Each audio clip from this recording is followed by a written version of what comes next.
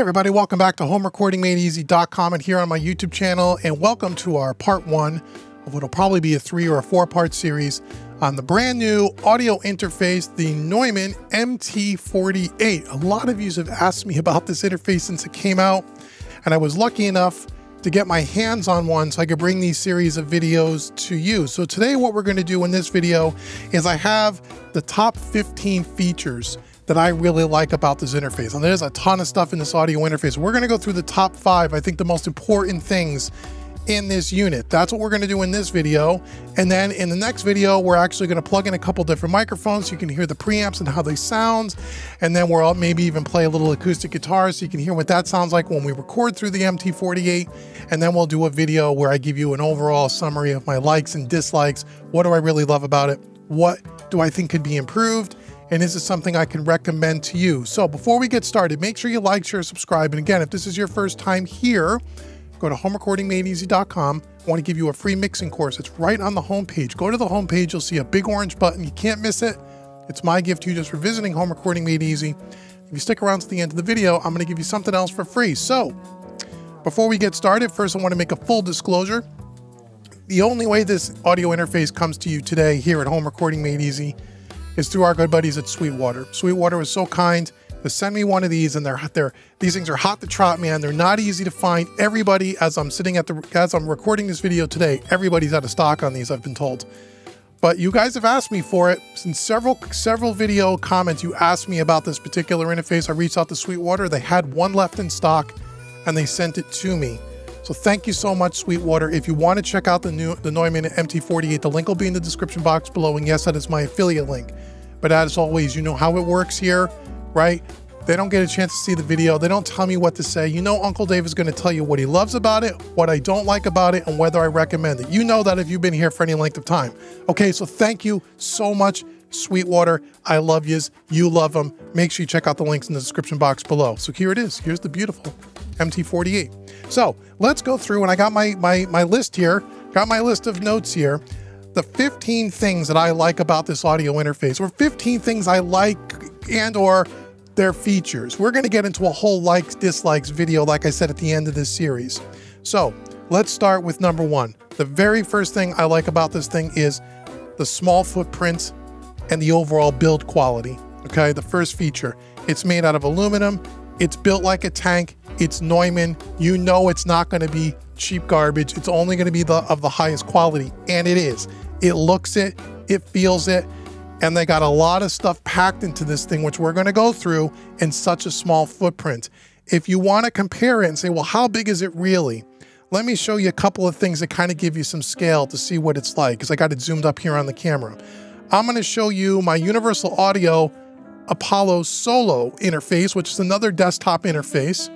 If I put the Solo right over the top of it, the Solo is just a tiny bit smaller than this, just a tiny bit smaller.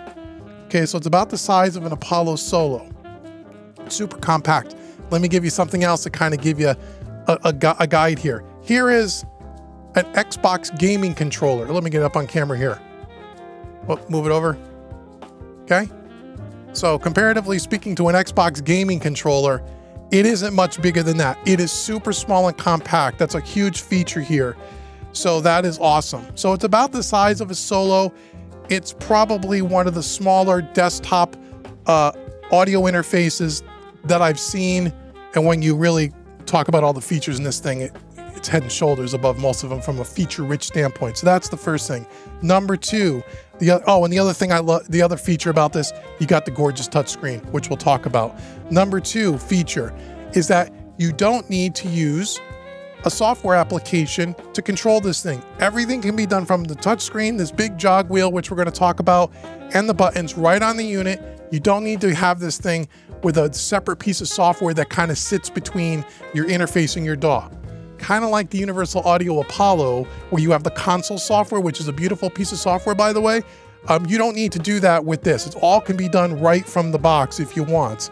However, Feature number three is that yes, you can control this with a desktop app, which is cool. So if you feel like your workflow is where you want to have this on your desktop so you can control all its features, you can do that as well. And another really cool added benefit to this is not only is there is a desktop app, but there's also a web app. And what the web application, and we'll do this in another video as well, we'll do a whole video walking through the app, is that you can control it with an iPhone or a tablet, smartphone tablet. So if you are remote across the room, across the studio, in another room, you can control the Neumann MT48 with a mobile app using their web app, and you can also control it right on your desktop, Mac, or PC if you want that as well. So you have three different ways you can work with it if you like. That's feature number three. Feature number four, which you can't see because I don't want to take it, I don't want to flip it over, but on the bottom, there's a quarter 20 uh, screw where you can mount this to a mic stand if you want which can be really convenient if you think about it. I know me, for me personally, this would be a really cool feature. Yes, it's cool to have it on the desktop, but let's say you are, you know, you're recording yourself and you're sitting in a chair and you're playing guitar and you uh, and you you know you don't want to be too close to the desk. You got a microphone set up. You'll say you're playing acoustic, for example, and you're kind of sitting back here.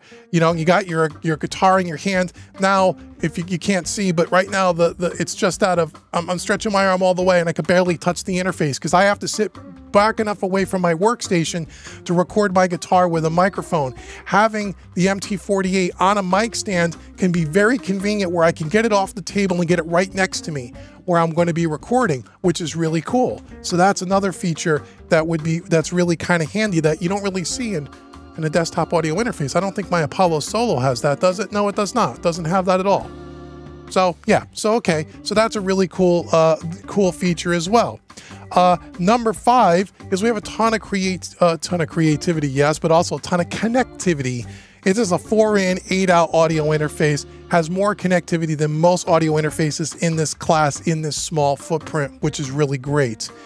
Number six, and again, these are in no particular order, but number six, that Neumann is working with merging technologies for the preamps and the and the uh, analog to digital converters. Now, um, merging technologies is known in the converter, high end audio converter, audio interface space. Um, they're a company out in Europe. I think it's in Switzerland, possibly, or Sweden or Switzerland, where they um, they make really high end audio analog to digital converters. That is in this box. Okay. They, they worked on the preamps and the converters. They, and we have 136 dB of dynamic range in this unit with those with that technology. Most audio interfaces kind of cap out between 118 and about 120, 123. This has 136 dB of dynamic range, which is great. Ultra pristine, also uh, ultra clean preamps. Number seven, just mentioned it. We have ultra clean, low noise, and we'll you'll hear this in the next video with 78 dB of gain in the preamps in this box. So the converters, the preamps, the dynamic range, the amount of gain that's on top in this thing far outshines most other stuff on the market, especially again in the smaller desktop mobile uh, footprint, which is fantastic. Uh, feature number eight is we also have two headphone jacks on this, uh, which is not completely unique, but it's really really cool. But what I will tell you about the uh, about the headphone preamps, and again, you can't hear this on cam- uh, on a video but I've listened to these headphone preamps. Now, what I'm currently using to record this video and what I record most of my YouTube videos with, my audio interface that I use is a Rodecaster Pro 2, which is kind of a live streaming little mini mixer uh, interface kind of a thing with uh, headphones on it. I will tell you that the headphones in the Rodecaster Pro and most headphones uh, sockets that I use on most audio interfaces, once you get up a you turn up about 11, 12 o'clock noon, you try to get them nice and loud, they get very noisy. A lot of noise floor, a lot of hiss in the background. I hate that, especially in the Rodecaster. This thing, plug in the headphones, you can jack the thing all the way up to where you can't even stand it. It's so loud. They are dead quiet. Amazing, amazing um, headphone amplifiers in these things. And there's enough, uh, and there's enough uh, you know, juice in this thing where you can drive any set of headphones, any kind of impedance headphones. This thing can handle no problem whatsoever. So this thing is really great. Probably the best headphones uh, amplifiers I've heard in, in a unit. I've had lots of audio interfaces, Universal Audio Apollos, Rodecaster Pros, PreSonus interfaces. I've had them all. This thing, the best headphone amplifiers I've ever heard. That's number eight. Number nine, You have a talkback mic on here, so if you want to use it in like a control room situation, it's really cool. And you also have uh, the ability to record the talkback mic, which is something that you may want to do as an extra uh, mic input. Number 10, you have a um, I can't see it on the back here, but you have an AES uh, 67 uh, connection, which is uh, which is great for networking and hooking up other gear, other audio converters, audio interfaces. It all can be done with the AES 67 uh, jack, and that is just like a Cat 5 type of a cable, which makes it really flexible. Number 11, each one of the four mixes here, we have uh, a mix A, uh, speaker A, speaker B, headphone one, headphone two. They all have their own separate mixers. So that means that you can have separate mixes for each one of those, which is really cool. So eh, four independent mixers that are co completely customizable. So you can customize each mix for headphone one, headphone two, again, all done from the touchscreen. Really cool feature. This thing has a ton, and this will be number 12 feature, a ton of DSP power in it. Each one of the individual channels has its own EQ, its own compressor, its own gate limiter, its own reverb on it as well. So you can customize that per channel, which I'll show you in a bit. Number 13 is that on every individual channel, you can um, you can either record the EQ and the compression settings that you set up on your individual channel, or you can just monitor it, or you can do both at the same time. So if you want to record a vocal track, let's say with some compression on the, an EQ, you can either just monitor it in your headphones, or you can go ahead and you can record that, or you can do them both simultaneously and then you can pick and choose later at mixing, which can be really handy. Now the reverb is only a comfort reverb, meaning it's only for monitoring, it does not print, but really cool if you're working with singers and those kinds of things. So that's really cool. Um, and then the last one, number 15, is you can also create presets and save them with the EQ and the compression and all of that stuff. So those are 15 of the of the main features I find on the on this unit. So let's take a like a, just a quick little walkthrough. And again, we'll get more depth in this in the next video. But if you look at the beautiful touchscreen here, we have a beautiful touchscreen. We have a series of buttons along the bottom. This is our home button here, this little diamond. Okay, I'll show you what that does in a minute. We have a speaker A, speaker B. You can have two sets of monitors hooked up to this, or you can have speaker B has quarter inch um, that you can actually uh, hook this up to other gear if you'd like. Um, we have our headphone one, and you'll see headphone two. And again, we can completely change the mix here right on the touchscreen. You can see I'm moving the faders with my fingers there. And if I go back to headphone one, headphone two, you can have completely independent mixes.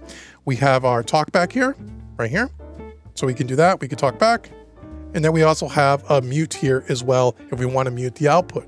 We have this beautiful, uh, nice, really well built, very, very smooth jog wheel, which will help you control all the parameters depending on whether you have A, B, one or two. For the headphones chosen, the jog wheel will turn up the volume, the main volume up or down for that particular input, either A, B or the headphones, which is really cool. Okay. Now, on the top here in the mixer, we'll go back to A here. We're in, um, we have mic one, two, three, four for our four analog inputs. If we just touch this, again, all from the touchscreen, you don't need to use an application. We tap this, we're on mic one, and we, we're presented with a bunch of choices. We have preamp, EQ, dynamics, mute. We can name it, we can color code it, we can group it, we can link it with the right, we can link the channels as well. Every one of these channels, you can do that. If I hit the preamp here, the preamp pops up. We have mic one, mic two, right? We're on mic one here. We have, we can turn the mic or line if we're gonna, you know, or line level, okay? Mic level, we could turn the pad on or off. We have a 12 dB pad or a 24 dB pad, which is really cool. Or we can cut it. If we just hit the, hit the wheel there in the center, we can use our jog wheel to adjust the preamp here, which is really nice. Okay. We also can do the phase flip.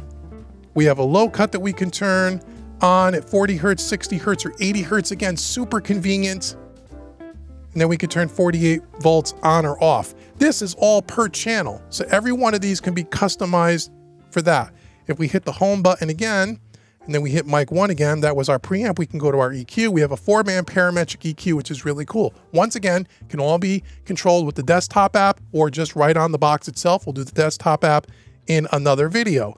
Once again, if we touch a point on the screen, we can use our jog wheel to manipulate that, right? We could turn it on and off if we want by hitting the frequency. We can turn the gain up or down. See that? We can adjust the Q value for all of those things as well. Really cool, can all be saved as a preset. We can turn it on and off just by hitting the EQ on and off button right there as well. We can dim it. We could put it in mono. There's our EQ. If we want to get back to the home screen, we just hit this diamond. You go right back. Hit mic one again. Now we can go to dynamics.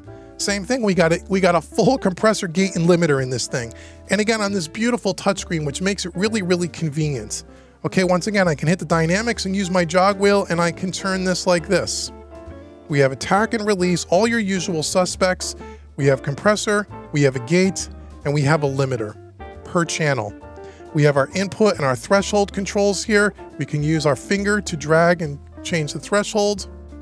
And I will tell you that the screen, yes, is super, super responsive, much like your iPhone or your iPad. It's very, uh, you know, easy to use, well thought out. It's not one of these old touchscreens that kind of sometimes it works, sometimes it doesn't. No, it, what what little I've played with this, it works really well. It's really well. You don't have to hit it once, twice, three, four times to get things to work. We've all seen that before. No, no, no. This thing works beautifully. Okay, go back home, hit mic one again. That was EQ Dynamics. We can mute the channel there if we want to do that. Right? Can unmute it. Okay, we can name it. We want to name the track, right? It's called mic one by default, but maybe mic one is my guitar, maybe mic two is my vocal. You can name that with this nice little keyboard here as well. And we can go back out. Oops, hit mic one again. We can change the color if we want to change the color.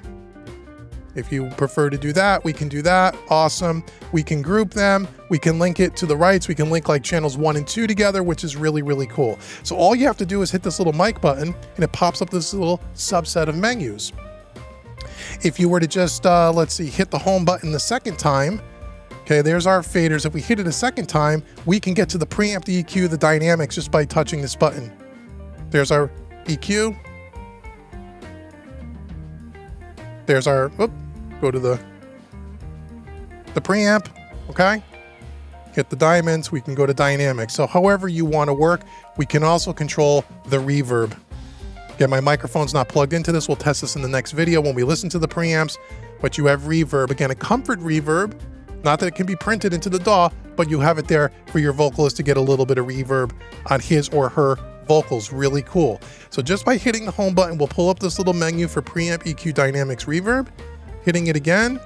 And if you want to get up, if you want to see the pop-up box, you hit mic one on the screen and there's the pop-up box, which not only gives you preamp EQ dynamics and all of that, but gives you a couple of more choices to customize the channel. Okay. That is an overview of the touchscreen inside of this too, where you can really dive down deep and you really want to read the manual. We're not going to go through every single setting, but just going into the menu here, we have all kinds of different things we can do for buses, routing. We can, I mean, there's a whole bunch of stuff you can do here. Settings, and then you have a whole array of different settings on how you want to set the routing, depending on your use case, what your what interface, what DAW you're using, what kind of speakers, and so on and so forth. Any additional equipment.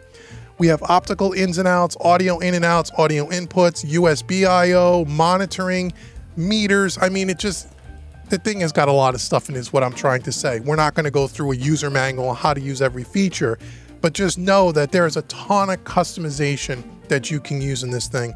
And we just hit exit here. You can go back and you can save. You can save this. You can reboot to the factory. And if you want to get back to the main home screen, you just hit that diamond. Oh, there it goes, and it brings us back again okay?